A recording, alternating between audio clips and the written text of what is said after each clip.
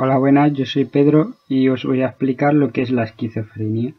La esquizofrenia es una enfermedad de carácter crónica que no tiene cura. Es un conjunto de trastornos relacionados que se caracterizan por pensamientos positivos y negativos. Es el más común de los trastornos psicóticos. Ligeramente es más frecuente en hombres que en mujeres, es decir, que tiene un inicio más tardío en mujeres que en hombres. El primer brote suele aparecer a finales de la adolescencia e inicio en la edad adulta. Actualmente se pueden controlar los síntomas de esta enfermedad mediante fármacos eficaces y conseguir que el paciente esté estable. Las causas de la esquizofrenia todavía se desconocen. Se cree que hay un conjunto de causas más que una sola influye factores como enfermedades víricas, herencias genéticas o consumo de drogas. Cuando se diagnostica esquizofrenia es muy difícil averiguar los motivos. No podemos hablar de que el consumo anterior de drogas esté relacionado directamente con la enfermedad.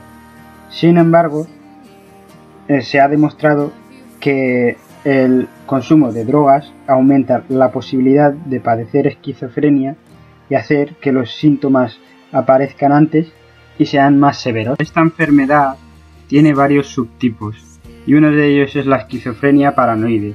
Consiste en la presencia de claras ideas delirantes y alucinaciones auditivas. Estos síntomas asociados incluyen ira, ansiedad, tendencia a discutir, la esquizofrenia desorganizada consiste en el lenguaje y comportamiento desorganizados y emociones marcadas. Habitualmente este subtipo está asociado a un inicio temprano y a un curso continuo.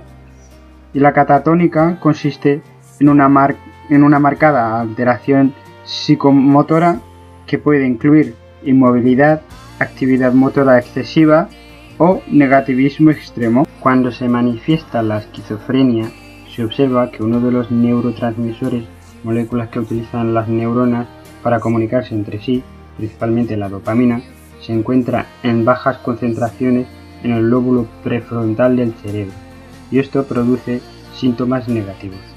Y los síntomas positivos, en cambio, tienen que ver con un aumento de, de las concentraciones de dopamina en otras zonas muy importantes y más primitivas del cerebro, el sistema límbico. En este sistema se producen las emociones, los impulsos, las sensaciones. Cuando las neuronas de estos circuitos se hiperestimulan y comienzan a secretar dopamina en exceso, aparecen los síntomas más característicos de la esquizofrenia como los delirios, las alucinaciones. Hay otros muchos procedimientos a la hora de explicar las causas de la esquizofrenia. En este pequeño vídeo observamos una hipótesis de que puede ser desarrollada por un virus en el cerebro que destruye las neuronas. Esta enfermedad se puede tratar de varias formas. Uno es con antipsicóticos.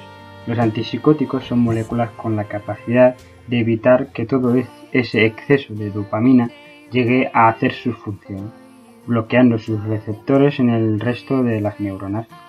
Hay dos tipos de antipsicóticos, los típicos, que son los más antiguos, y como efecto secundario producen o provocan alteraciones hormonales, alteraciones metabólicas, alteraciones cardíacas, trastornos de movimiento, y los atípicos, que son los nuevos, provocan menos síntomas o dan menos problemas y son más eficaces en el control de los síntomas negativos de la esquizofrenia, pueden ser eficaces con las personas que son resistentes a los típicos.